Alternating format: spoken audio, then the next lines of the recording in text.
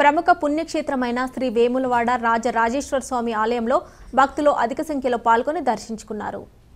భక్తులు వేకువజామునే స్వామివారి దర్శనానికి క్యూలైన్లో గంటల తరబడి నిల్చుని దర్శనం చేసుకున్నారు. కాగా వేములవాడ రాజన్న ఆలయం అధికారులు రాజన్న హుండీ లెక్కింపు ఆలయ పరిధిలో హుండీ లెక్కింపు నిర్వహించారు.